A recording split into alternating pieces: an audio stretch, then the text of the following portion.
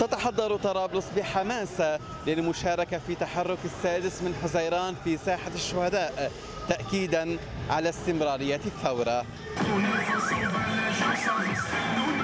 هكذا يتجمع الثوار الطرابلسيون استعدادا للتحرك الثوري الموعود في ساحة الشهداء. كبير حيكون. ما فينا طبعا نحدد العدد ولكن تجاوب كبير جدا لأنه هي عم تعني تأكيد لاستمرارية الثورة مرة أخرى. هذا التحرك كما سبقه من تحركات عديدة. يصر الثوار على رفع شعار كل يعني كل ضد كل المنظومة السياسية. إلا أن خلافا وقع بين الثوار حول أولوية الشعارات التي سترفع. البعض يصر على ضرورة تطبيق القرار 1559 الذي يعمل على نزع السلاح غير الشرعي في لبنان بينما اعتبر آخرون بأن مطلبا كهذا ليس في التوقيت الصحيح وليس من أولويات شعارات ثورة 17 تشرين. عم نشوف بعيوننا عم يصير تهريب مازوت تهريب طحين تهريب مصاري تهريب كل شيء. طيب أنا بدي أفهم شغلة مين مغطى هيدا التهريب؟ هذا التهريب مين مغطى؟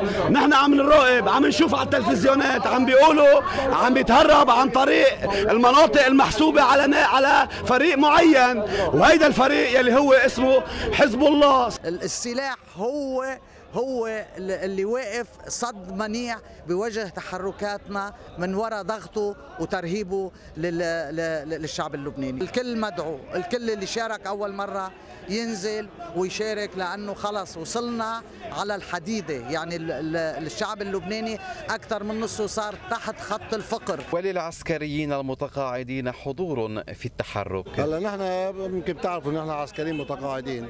آه نحن نازلين بشكل لوحدنا نازلين ببوسطة يا وزارة الداخلية اعملوا معروف. آه، حقنوا الدم. اليوم على بكرة نحن متأكدين. هول شرطة المجلس لأنه هول جماعة ميليشيات جايين من ميليشيات.